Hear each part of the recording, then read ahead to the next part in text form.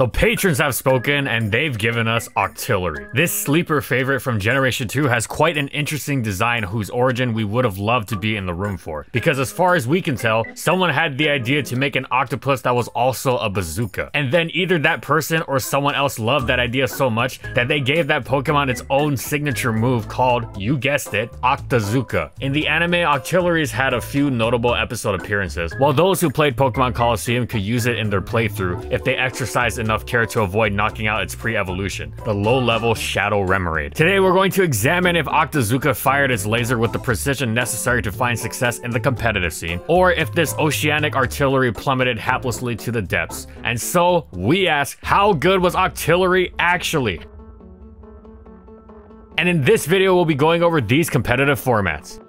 It took Octillery a while to establish itself in its debut generation, even all the way down in NU. The metagame was so absurdly dominated by the likes of Raichu and Poliwrath that Octillery had a difficult time fitting in. However, once those two were banned, Octillery finally rose to the top of the metagame, becoming one of the most dangerous offensive threats in the new metagame. Its special attack was the highest in the tier, and was put to good use with the external excellence of Stab Surf, complemented perfectly by coverage from either Hidden Power Electric or Ice Beam to hit common water resist. The former slammed Dugong, Kingler, and what else but opposing Octillery, while the latter crushed Dragonair, Gloom, and Exeggcute. These worked so well together that Octillery was able to run an effective rest talk set for longevity in the face of attacks and status alike without losing offensive potency while asleep. And if it ran Ice Beam, it was guaranteed a good sleep talk against Xatu and Dugtrio too. Octillery didn't even need to run one of the most unique moves for a water type that it had access to, Flamethrower, as the super effective hits it scored were largely redundant with Ice Beam,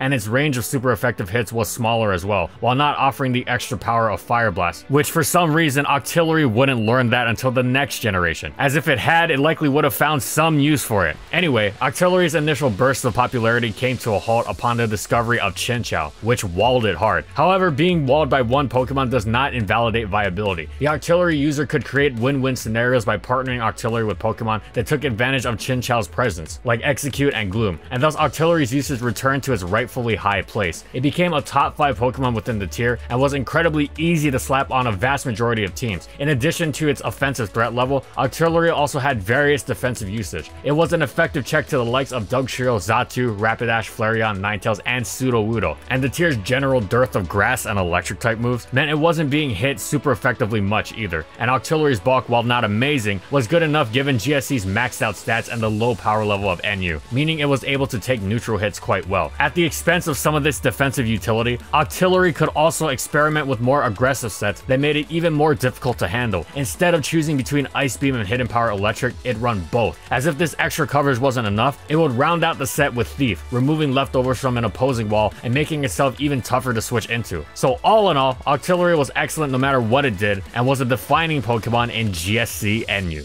The splitting of EVs in Generation 3 meant Octillery's fierce offensive output hit most Pokemon even harder. Now, of course, this came with the drawback of Octillery's own meager defenses not being maxed out, compromising its own hit-taking ability, which wasn't great considering its low speed. However, it returned to NU, and there the power level was once again low enough for Octillery to not just survive, but thrive. It was a hugely defining offensive threat capable of blasting through nearly the entire tier, and what few Pokemon could withstand its hits, like Dugong and Bulky Wailord, weren't exactly immovable for Octillery's Hidden Power Electric, especially with Spike support. Speaking of Wailord, Wailord was the best, most defining offensive water type in NU as well. Was Octillery not outclassed? No, not even a little bit. Wailord would have killed for several of Octillery's offensive traits, namely a much higher special attack stat and a much stronger option than Ice Beam for hitting grass types like Bellossom and Fire Blast. Octillery also packed the always excellent Thunder Wave, which supported its teammate and helped Octillery overcome its low speed. Finally, Octillery was also one of the tier's best leads. Its Glalie KOing Fire Blast was an incredible tool, meaning the opponent would instantly lose a Pokemon if they wanted an early spike, which they'd be limited to just one layer of at that. Octillery didn't necessarily even have to compete with Wailord. They were both so good many players used them on the same team, and to fantastic results, with many opposing teams unable to handle the dual water assault. Additionally, Octillery was also a fixture on Baton Pass teams, as its huge special attack and perfect coverage made it the ideal cleanup Pokemon to take advantage of a Baton Pass chain. Phasing was incredibly rare in NU, so Octillery didn't even need to use its new Suction Cups ability most of the time, which would stop any attempts to Roar or Whirlwind from the opponent. BP's presence in NU was largely reviled by the player base, not just because of Octillery, since it was mostly the fact that other Pokemon were unstoppable and passing boosts back and forth between each other that really made them too much to handle for many teams. However, Octillery certainly played its own significant part because it was ruthlessly efficient in ensuring the win. It was the perfect recipient. Once it got its boost, the game was over. No questions asked. BP was never banned though, despite the requests of some players. But of course, as established beforehand, Octillery was far more than just a BP recipient, and as a standalone Pokemon, it was a thoroughly excellent, defining part of Gen 3 NU.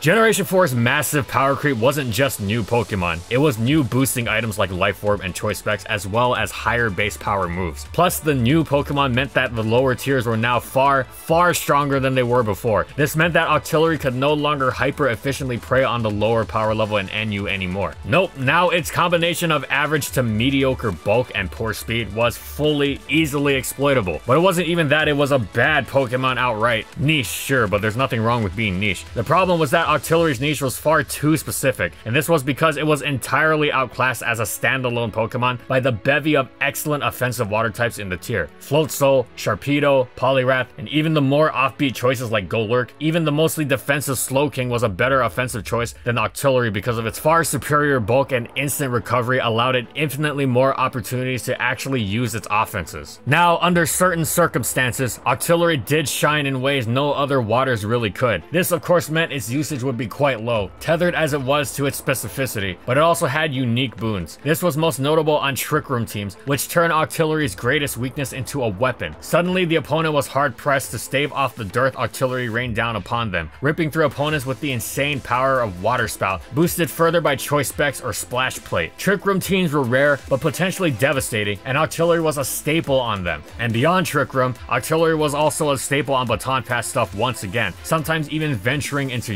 But this was ultimately too gimmicky and unreliable. Octillery's Generation 4 was a largely uneventful one, but on the few occasions it did appear, it was basically the Kyogre of NU, water spouting off and blasting through nearly everything.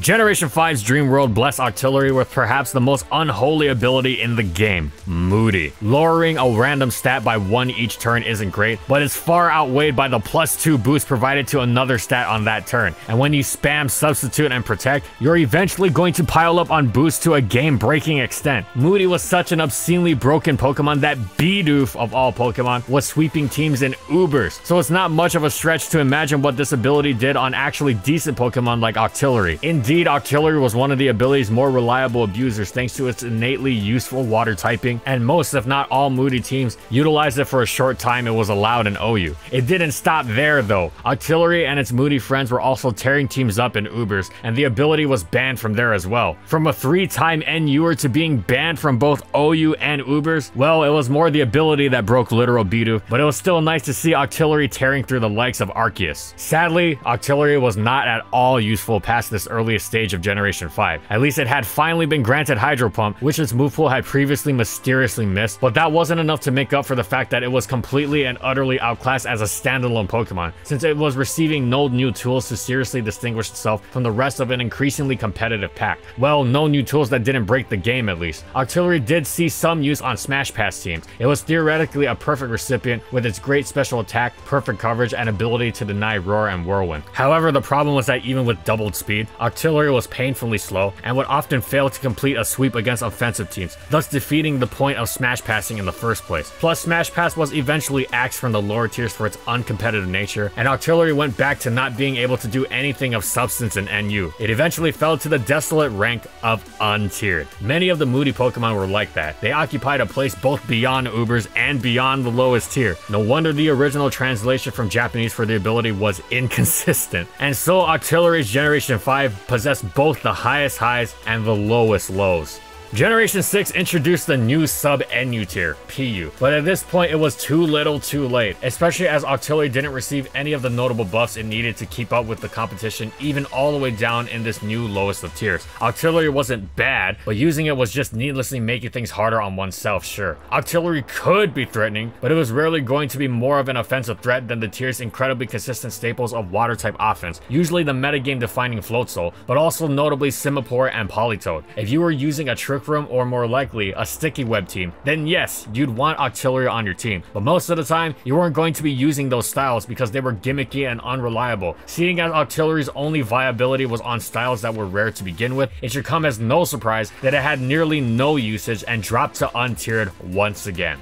Once again, Octillery received nothing in the way of necessary buffs in Generation 7. Thus, it dropped past PU, and nobody sparing it a glance upon seeing how completely outclassed it was by every single water type there, and found itself an untiered Pokemon once again. There really isn't much else to say about it, so instead we will propose some reasonable ways to buff Octillery. First of all, if you attach a splash plate, it fuses with the sacred ancient text inscribed on the plate and ascends to a higher form of a celestial being, akin to an incomprehensible Lovecraftian monster. Just kidding, but some form of evolution or regional form or mega evolution would obviously be a big step up for Octillery. Make it stronger and bulkier. Even just a relevant stat buff would do. Another option is to give it a unique ability that it would actually make use of. For example, real world octopuses regenerate lost limbs, so it's actually quite bizarre that Octillery doesn't get Regenerator. Finally, it's a shame that Octazooka is not a very good move because its name is so cool. Maybe if you make it as strong as the name implies, akin to something like Boom Burst, then that would help out as well. None of these would exactly break Octillery Octillery either. Your move, Game Freak. In the earliest stages of Gen 8 PU, the Dex Cut finally made Octillery usable, but really just that, usable. It was at least acknowledged early on, but quickly forgotten as the tier came into a more comprehensive form, which even the smaller Pokedex included Octillery being outclassed by water types that were either fast or bulky. Octillery was neither, and that is a death sentence. Obviously, when the Pokedex expanded with the DLCs, Octillery stood no chance. It really didn't receive anything, not even a slightest relevant move pool addition like knockoff or something. For some reason, it didn't even learn Flip Turn. Hopefully this will be amended in some form in Generation 9. Justice for Octillery. It deserves better. And that's it, so how good was Octillery actually? Well, its stats let it down just barely. It's almost got the makings of a great lower tier Pokemon, but it's not quite there. It was good in Gen 2 and 3 NU, but ever since Gen 4, it struggled to make a name for itself in even the lowest tier. Well, apart from that brief but hilarious stint with Moody, which saw it cleave through even Ubers. Sadly, Gen 4 marked the period where Octillery was generally relegated to highly specific use on niche team styles like Trick Room. Its reoccurring theme was, it could be threatening, but never was consistent enough to justify regular use. Hopefully Game Freak gives it a slight boost it needs, including the Octazooka buff we all want. Thanks for watching everyone, and thank you so much to our patrons for continued support of our videos and for voting for this Pokemon for this month's patron pick. And as always, if you liked the video and you want to see more, be sure to subscribe to False Swipe Gaming for more weekly Pokemon content. And in the comments, I want to know, what do you think about competitive Octillery? Aside from buffing Octazooka, how else would you buff it? Whatever it is, let me know in the comments. And follow my crew on these social media platforms. And that's all I got. See you next time, everyone.